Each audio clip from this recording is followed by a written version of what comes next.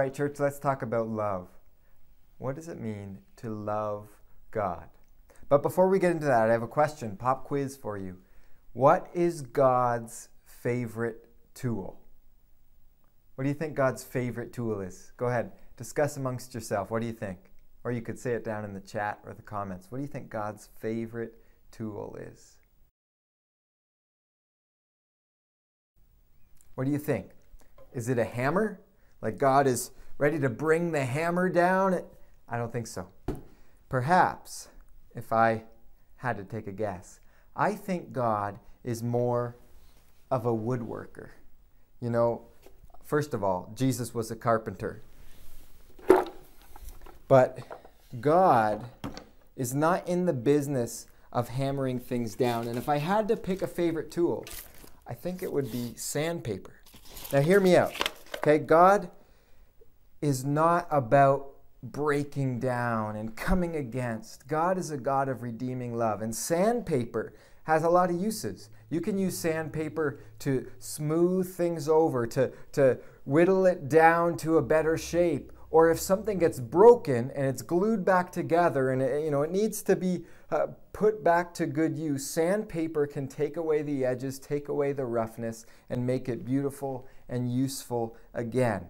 And I think we need to think of God more like that and less like a hammer or or other things that we can sometimes think of coming to God when we mess up or when we fail, like He's ready to, you know, do something to us or take something away from us. But God is in the business of redemption and repurposing and reorienting. And we need this. We need to think this way because I think we have a tendency sometimes when we mess up, when we fail, when something gets broken, we either give up or run away or, or try to, you know, pick up the pieces and earn our way back. And, you know, oh, I feel like I can't be useful anymore. We might beat ourselves up. And, and these all come from misconceptions about God about who God is. And listen, this isn't just us in the church.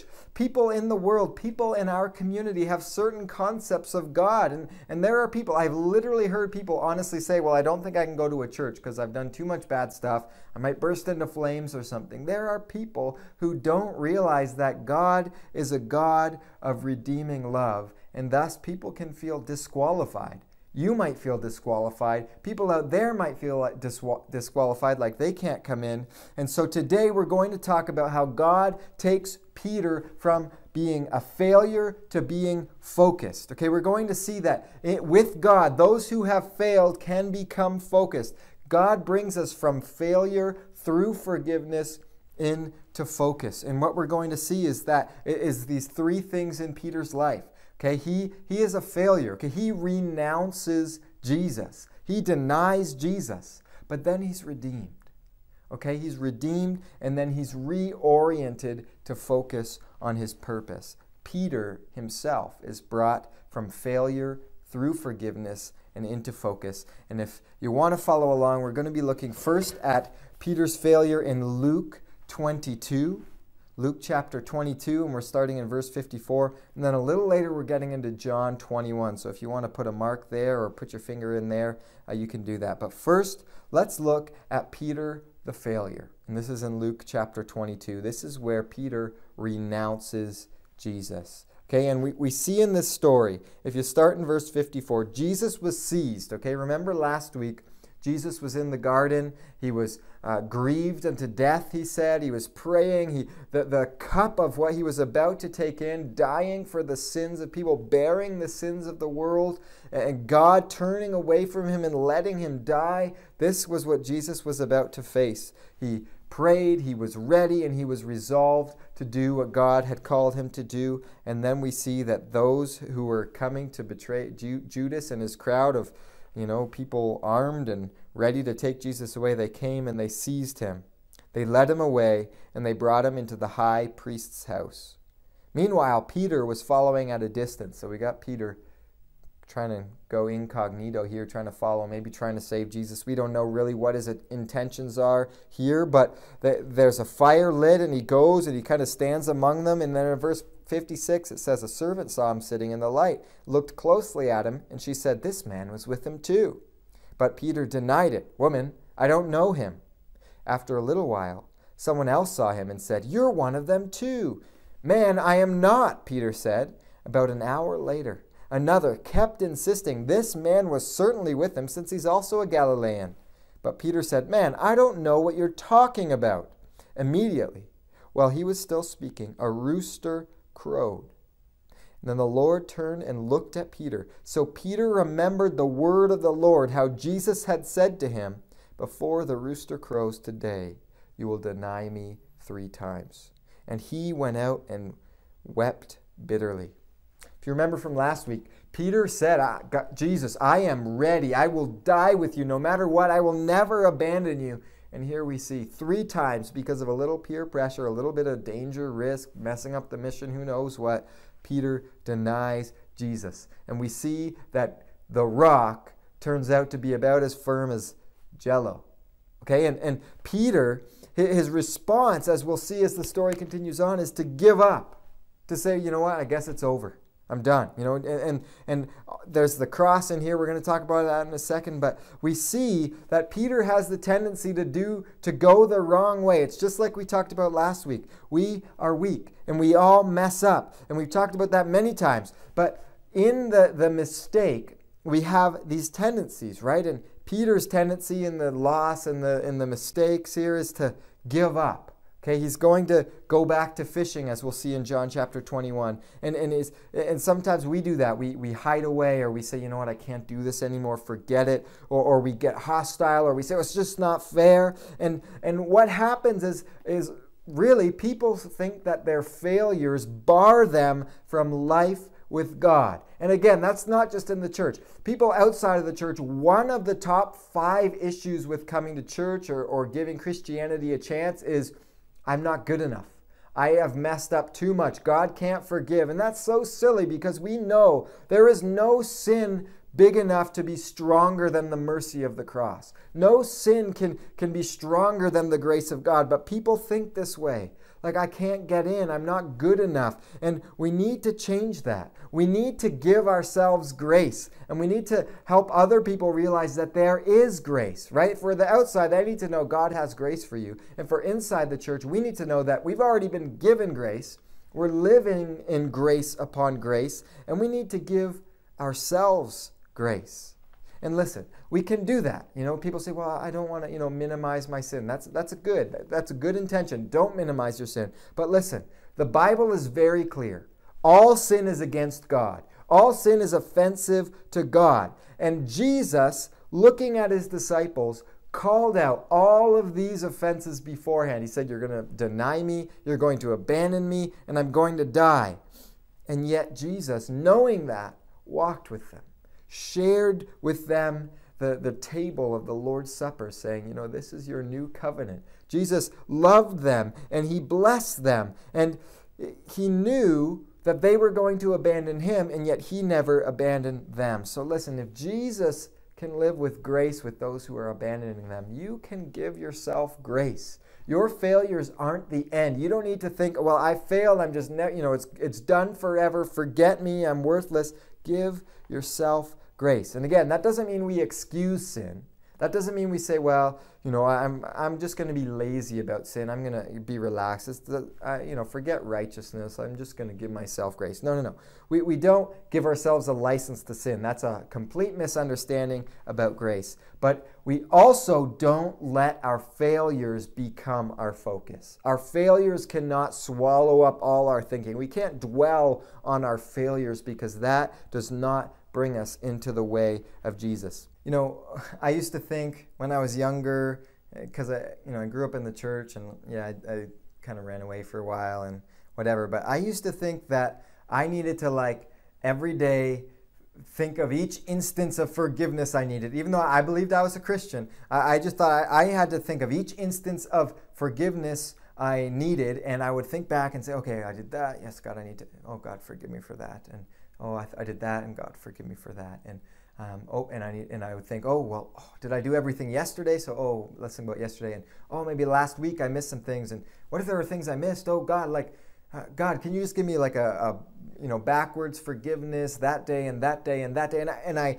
I thought like I had to ask for forgiveness to get forgiveness on each little thing. Like, like, you know, I might miss something and then I was going to actually live with like this unforgiveness badge in my past and it was like, oh, I hope I one day remember it and and that is not the cross. Listen, that is not the good news of the cross of Jesus Christ. Okay? And and here we are where Peter has failed miserably and Jesus is about to go to the cross. And uh, we're going to see some the cross is a, a very, very powerful, of course, uh, where everything is centered on the cross for us. So let's turn to John 21. And as we turn to John 21, you need to recognize that we're going from pre cross to post cross. And that's a major threshold to cross because it changes everything. And we're turning a page to John 21, but history has turned a page in here. And what we're going to see that is that in the cross, there has been full forgiveness. There has been redemption. Okay, Peter renounced Jesus, and now there is redemption. Okay, and when before Jesus went to the cross, he said, He said, I'm going to give my life as a ransom. He says, I came here to rescue, I came here to seek and save the lost. And he goes to the cross to bear sins, just as John the Baptist, prophet of God, at the beginning of Jesus' ministry said, Here's the Lamb who takes away the sins of the world. And, we need to hear this. This is, this is reality because as Jesus is on the cross, he cries out, It is finished. Jesus gave up his life. He gave up his life for the kingdom, his life for God. He gave up his life for the mission. And, and honestly, it's radical. Like, it is finished. This is a radical statement. It's more radical than we realize. Seriously, it's, it's even, we could say, unfair. The cross of Jesus Christ has brought full forgiveness, past, present, and future. Total forgiveness forever for those who believe in Jesus. Relating to God is radically changed from being under the law, you know, where you had to, you know, you mess up, okay, we're going to store up these mistakes and then you're going to have to pay for them and then you're good. And, you know, they had a yearly atonement service where they'd pay for their sins and, and people still think that way. Like, I need to, you know, I need to do something every once in a while to, to pay for my sin. Under the, the gospel, through the cross, relating to God has changed. And so, if we look to John chapter 21, post cross, Okay? We're, we're told that it's everything's changed when we read through that account in, in each gospel, everything's changed. And so Jesus comes to reveal himself again. Here he's going to call out Peter for he's gonna he's gonna call out what happened. You failed. And and he does it indirectly, but we're gonna see that in a second. First he comes and he, he sees that there's this group of disciples, they they were together, and Peter says, I'm going fishing right? I, am done. Like this plan, this mission, all these things, Jesus is dead. I'm done. I'm out of here, you know. And, and they had seen Jesus, and uh, here's all this stuff, but it's like, you know, it's over. I failed. We're done. And so Peter says, I'm going fishing. They say, okay, we're coming with you. Back to the old ways. But then daybreak came, and Jesus stands on the shore. And the disciples didn't know it was Jesus. Friends, Jesus called out to them, You don't have any fish, do you? It's starting to sound a lot like something that happened before, isn't it? And so this time, Jesus doesn't just say, hey, cast your net. He says, hey, you got nothing. Hey, no fish. You failed. And, the, and they answer, no, no fish. See, Jesus says, cast your net on the right side of the boat and you'll find some. So they did. And they were unable to haul it in because of the large number of fish.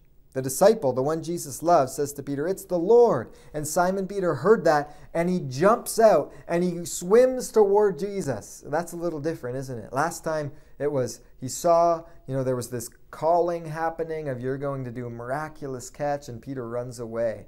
This time, Peter runs to Jesus. So it seems like something's sinking in, right? And then we see Jesus with a, a strong but gentle rebuke. And now I just want to pause here for a second and think at the beginning, Peter knew he was a failure. He tells the Lord, you know, at the beginning of their relationship, Jesus does the miracle, says, you know, I'm gonna, I'm gonna call you to do, be fishers of men, and Peter says, go away, I'm sinful. Okay, and now now Peter's lived it. You know, yes, we're fishers of men, we're part of it, and then they give up because, you know, yes, Jesus died. Uh, they knew he came back to life, and they say, well, I failed. Uh, I failed, and I'm assuming that's why he's going fishing. I mean, it doesn't tell us directly, but he, he, he went back to his old way. I failed, and I'm going fishing. And Jesus comes and says, Look, you failed. But look, it's still happening. And at the end of the account, he's going to say, Follow me. Peter is being drawn back in. But in it, they're eating breakfast, and Jesus asks him three times, Do you love me? And we might even, if you, someone asks that three times, you might say, Do you really love me? Like, do you really, lo- are, are you serious? Do you love me? And it hurts Peter. But Jesus comes in and he's not he's not minimizing what happened. He's not enabling Peter. He's not ignoring it because it was costly. But Jesus coming in is asking this question, do you love me? Like who are you? Uh, do you really love me? And he's going to point him to the mission as we'll see in a second, but here there's an important lesson. What does Jesus not do? Jesus doesn't come and say, you need to, you know, earn your way back. You know, you're in the, the proverbial doghouse of ministry here. No, he Peter doesn't come groveling. Jesus doesn't come and like try and emphasize and say, you know, look what you did. The your wrongness, your wrong deeds were so wrong that you know, as if Peter's got to pay something back if he's going to get into the right way. And, and that's important because I think you know, even that story I said about me always asking for forgiveness, we think this way. We tend to think this way that we need to like do something to get our forgiveness in Jesus. And I'm talking in Jesus here. If you're if you're a child of God, if you're in Christ, I'm talking to you. Asking for forgiveness is not what gets us forgiveness. Now listen, I know I know this, this could be an argument sometimes for some people, but but listen, in the Bible, after the cross, there is no point where a Christian has to say, ah, oh, you know, I need to be re forgiven. That doesn't happen in the Bible. So you can read it. I've read it many times. It doesn't happen. We're not told that we need to ongoingly be re-forgiven by God as if, you know, we're we're on this slate and the slate's blank, but oh, we mess it up. God, please clean it again. We're not told that once. And you know, some people bring up, well, what about 1 John 1 9, where he says, If you confess your sins, he's faithful and just to forgive us our sins. The context of that, if you look at it, is people who think they don't sin, they don't need forgiveness. And John's saying, whoa, whoa, whoa, whoa, whoa. Yes, you do need forgiveness. You need Jesus to bring you forgiveness. So if you confess, you will be forgiven. And the whole rest of the letter, he's like, we're in the light. We're clean. We're pure. Okay? We are we are not forgiven by repeatedly asking for forgiveness. We are forgiven by the cross of Jesus and by being united with him in faith. And if you want a lesson in this, Hebrews is huge. Like once for all time, he paid the price. We are forgiven fully, finally, and forever. Now, when we sin, do we do we say, "Oh, God, that is wrong. I don't want to do that. I hate that. And that's not me. I don't like sin. I want to figure out how I can avoid that failure. Yes, yes, and amen. We do that. But we are not ongoingly forgiven by asking again and again and again for forgiveness. Now, is God, you know, upset with you when you ask for forgiveness? I don't think so. But I would imagine he smiles and says, You are forgiven. You are fully and finally forgiven. And listen, we need to hear this because we need to tell this, right? Our community needs to know that it is not about doing enough good. It is about being forgiven because of what Jesus has done. And that changes lives, right? The, the thought that Jesus paid the price, that changes lives. And we need to go to the, the community, to the world, and say, Jesus paid it and He's inviting you in. And the forgiveness is free. And that's troubling sometimes because, listen, people, for Christians and non Christians, think that they have to pay. Like, yeah, sure, I was forgiven, but now I've messed up and I have to pay somehow. Like, I've got to dwell on it. I have to grovel about it. Maybe I have to lose some blessing. But the funny thing is, that is totally a reward and punishment mentality. That is a law based system where you say, I messed up, I got to lose something, and I got to get my standing back to where it was. That is not the cross. And listen, this is honestly what makes the cross offensive. Because the cross is offensive, because either you think you earn things and the cross says no. You don't. It's the cross. Or you think you, you know, you're too, uh, you know, that, that's too easy. That's too easy, and that becomes offensive. And honestly, Paul, so Paul is one of the people who wrote a lot of the New Testament, a lot of the letters that talk about Jesus. Paul, he was chosen by Jesus to be a messenger to the world. And, and so he had the message. And he was constantly criticized. You read through his letter, he was always criticized for preaching too much grace. It's too free, Paul. The forgiveness is too good. You need to stop because you're going to make people sin when they think that the forgiveness is free. And and that Paul was criticized for this all the time because listen, people either want to earn it so they have this pride of like yes, I did it. I'm good enough. I can get into heaven. I'm good with God, or they think it's unfair like oh, really a murderer can just be forgiven because of what Jesus has done? Well, Yes, that's how big the sacrifice of the Son of God is. That is how big it is that Jesus, the Son of God, the one who created the world and everything in it, was put on a tree that he created, was upheld as he died by a world that he created, and was murdered by weak, puny worms that he created. That is how big this is. And so here in Peter's story, we see that he did this you know, sin we could call as a, you know, huge sin. Okay, he denied his friend who he said he'd never deny and who he committed his life to, who he knows is the Son of God. He denied him and avoided him and he got murdered. That's pretty big. And, and yet Jesus doesn't come and say, hey, time to apologize, time to grovel. In fact, what he does is something that you might never expect if you don't read it. He comes and he just asks Peter to confirm something. Confirm who you are. Confirm who you are to me, and then I'm going to reorient you. Okay, you've, you've gone off the path. Is it, hey, you went off? No. Who are you? Do you love me? Is the question. And okay, follow in this path. And the mercy of God is amazing because actually, if you look back in Luke 22, Jesus said to Peter, you know, Satan has demanded to sift you like wheat, but I've prayed for you that your faith won't fail. So when you've turned again, when you've turned again, strengthen your brothers. He says, I, I knew that, I know what's coming. I love you. You know, I'm praying for you. And when you've turned, carry on in the path. That is focus. The, the failure is met with forgiveness and is turned to focus.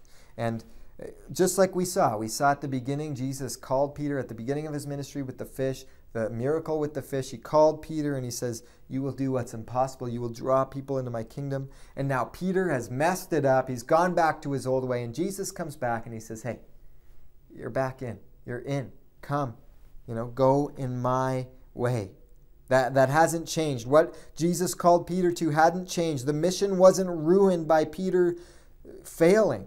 And so Peter runs to him, and Jesus points him back to the right path. And listen, church, the Spirit of God is doing this constantly in our lives. And if you're in tune with the Spirit, you know this. You're walking down the wrong way, and you just feel or you hear the voice of the Spirit saying, No, that's not the way.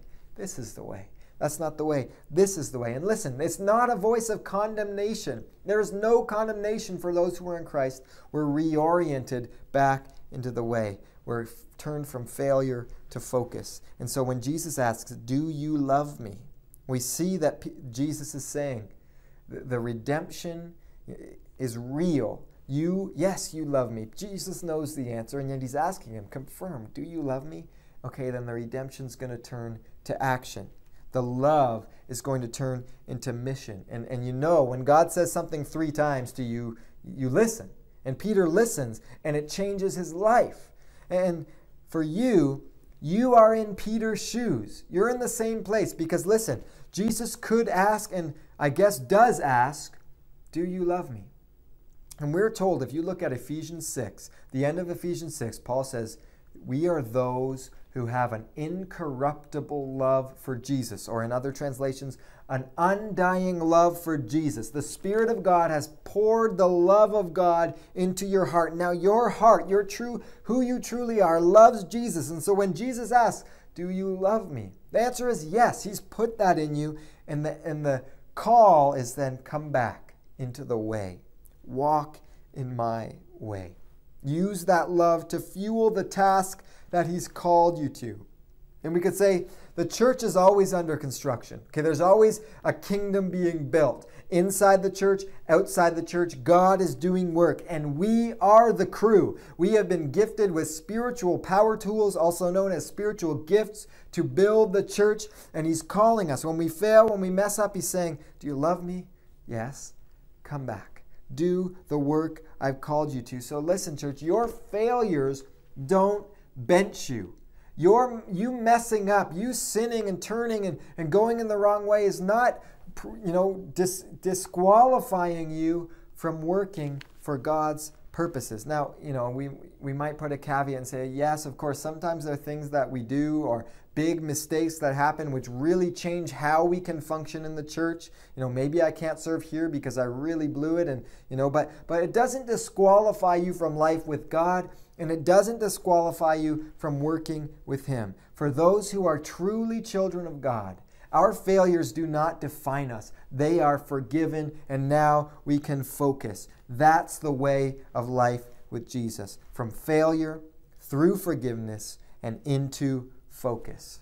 For Peter, he, not to use too much alliteration, but he renounced Jesus. He, he was met with redemption, and Jesus then reoriented him into the right way. That's the way it is with God. That is how God wants you to think about your failures. You don't have to pay for them by groveling and repeatedly dwelling on them and saying, God, I, you know, I need a new slate. I need a new slate. I need a new slate. That's not how it is. Come back into the way. So, church, just to close, listen. Don't disqualify yourself. And this is a real thing. I know. I felt it. I see it. And I don't know who needs this, but I know some of you watching need this message. Don't disqualify yourself. You feel like you're out. You feel like you're useless. You feel like you've gone too far. You've messed up too much and God's done with you. Listen, I'm telling you right now by the Spirit of God, God is not done with you.